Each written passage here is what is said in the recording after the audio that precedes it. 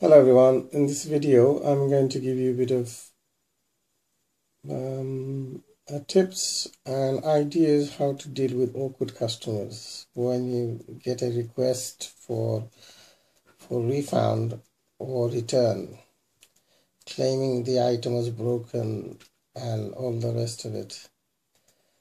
Mm, I very rarely I get return requests, very very rare a recent one I've got where I had two listing and I was selling two Winnie the Pooh ceramic 8 inch plates collectible plates.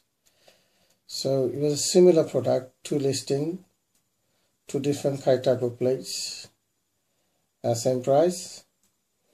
And a person bought one of them and when it comes to ceramic stuff you know your fragile stuff you have to be very careful how do you sieve it.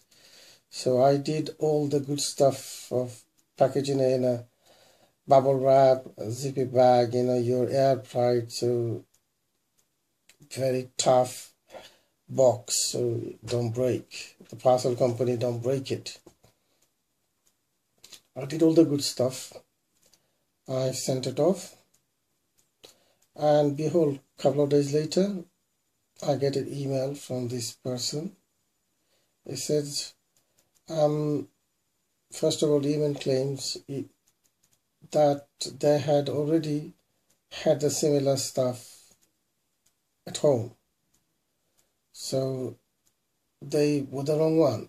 They've actually bought got a similar one, same thing at home already. So that's not, no, here's not my problem, first of all. And secondly, they claimed, oh, he was uh, one of the, the character in the plate is like a 3D character of Winnie the Pooh and all these characters. One of them came off. Right. I looked at the email, I looked at the feedback of that person and it was literally this person had I think only 20 25 feedback. And then what I decided to do without upsetting that customer I wrote an email.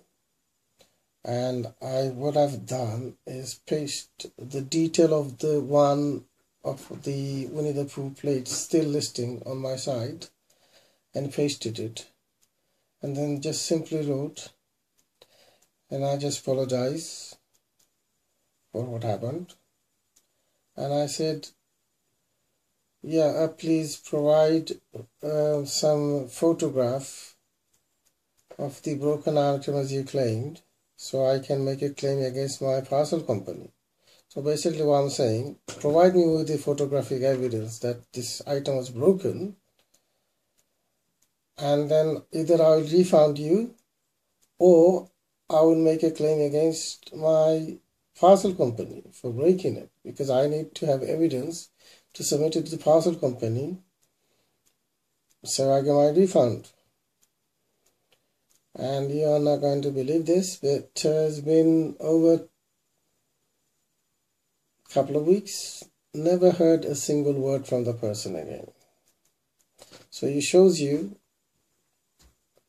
Sometimes, if you're in that position, you get something like this, the best thing to do is nicely write them an email explaining to them, you know, please provide me with photographic evidence so I can claim it on my insurance of the parcel company. Obviously, you need to know if they send you photographic evidence. So you you'll be in a position to know whether it's they're lying or telling the truth. If that's the truth, then obviously they will send you photographic evidence. If not, that will be the end of it. You're not going to hear any more from them. So next time you get that, nice and easily, softly explain to them to send you a photographic evidence and I'm sure you're not going to hear them again. if you ask them nicely. And I have done it when I started doing eBay uh, seriously two years ago. I, I had a go at a customer and excuse me I end up mm, it was for I had a slinging match for no reason I've learned my lesson and now I don't get into that sort of situation I hardly ever do it if I'm think if I look at the feedback and it's very creditable person. You know, you see them with five, six, seven hundred, eight hundred feedback, a thousand feedback. Um, they're not lying or they're not making up stories. Just I instantly refund them. And often what I do, you know, sometime they will on a return case, sometime I tell them, don't bother to return it. I just refund you straight away. Keep the stuff. It makes you look good. Recently, another another transaction where I sold a a PS2 game, and I've missed it. That a corner of that case was broken. I did not realize that. Under the plastic covering, the hard plastic is uh, just a chip on the corner so there's a small item a 499 item and the guy was nicely sent me a, an email said look uh, the case is broken and I explained I'm so sorry I must have mistakenly overlooked it this um, when I took the photograph or didn't check it properly I apologized to him and I said, "What, uh, what me, what do you want me to do? Do you want me to refund you, or I send you another replacement, or what do you want me to do?" So he wrote back to me saying, "You know, he'd be happy that if I refunded half of the money." And I thought, why bother with half of the money? Four ninety nine. I just gave him the return, four ninety nine, and behold, in turn, he gave me one of the fantastic uh, reviews. So it shows that I'm thinking in the positive sense that give him a a PS2 game, what I bought for 50p, and okay, 4.99, and obviously I include my postage, but the feedback itself paid 10 times the the value of the product. What a feedback.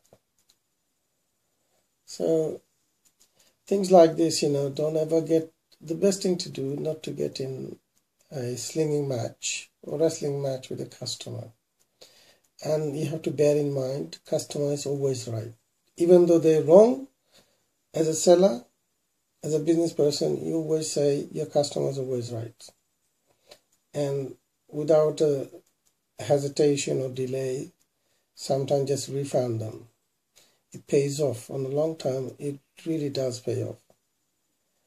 And it's not worth when you're growing business to start slinging much. Even if you're a big, big, you know, if you're a multi, multi mm, million dollar business or pound business, they don't argue. You don't argue with the customers. You just hand them over. I know it's difficult. Sometimes we don't want to lose out. But that's the way the game goes. And people will always try it on. And make sure um, don't fall in the trap. You know, sometimes you get people are writing with write you uh, a kind of aggressive email and you get pumped up and you react and you say a lot of things isn't don't ever get into that habit of reacting even if they send you a you know tough email. You don't have to write a tough email back. Just apologize. Always sorry. Always be humble. And uh, that way you can resolve the issue so fast. And there always will be people who always try on. It's, it's the it's the small buyers who just starting out on ebay they will always try on. And you're always gonna get the scammers. And that's that, that's one thing part and parcel of selling on ebay or other platform. You know you, you will always going to get some.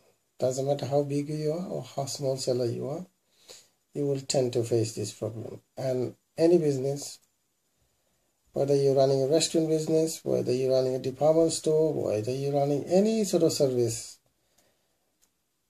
there will always be a problem. And you always will find a solution. But the, the biggest solution i think and i tend to say you know do not get upset. Don't do anything silly.